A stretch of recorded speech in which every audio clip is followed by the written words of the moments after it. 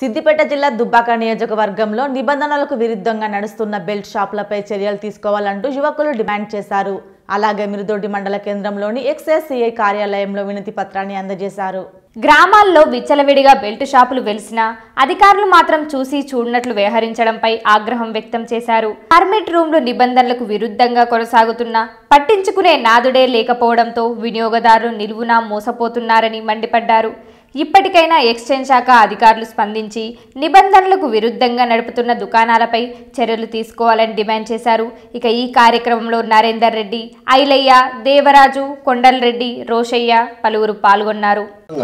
దుబ్బాక నియోజకవర్గంలో ఉన్నటువంటి అన్ని వైన్స్లలో పర్మిట్ రూమ్లు బెల్ట్ షాపులు నిర్వహించడం జరుగుతుంది.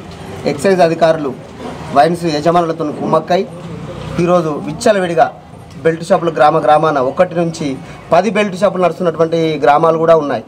ఈ గ్రామాలలో నడుస్తున్నటువంటి బెల్ట్ షాపులపైన ఎలాంటి చర్యలు తీసుకోవడం సిఐ గారు గారు.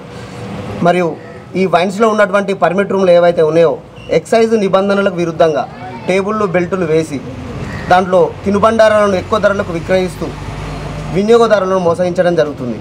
అదేవిధంగా ఈ వైన్సుల్లో ఏవైతే కావాల్సినటువంటి వినియోగదారులు కోరినటువంటి మందులు కాకుండా అటెండెంట్ ఇవి లేవని చెప్పడంతో ఆ తర్వాత వెళ్ళి పర్మిట్ రూమ్లో ఆడితే పర్మిట్ రూమ్లో దొరుకుతున్నాయి. వైన్స్లో దొరుకునే అన్ని కూడా మందులు పర్మిట్ రూమ్లో దొరుకుతున్నాయి.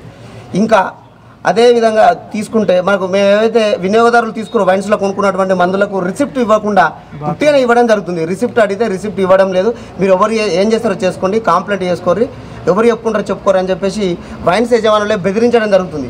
కాబట్టి ఇట్లాంటి నిబంధనలకు విరుద్ధంగా నడుస్తున్నటువంటి కాన్షియస్లు ఉన్నటువంటి అన్ని వైన్స్ షాపుల మీద బెల్ట్ షాపుల మీద పర్మిట్ రూమ్ల మీద చర్యలు తీసుకొని వాటిని మూయించాలని చెప్పేసి మేము డిమాండ్ చేస్తా ఉన్నాం.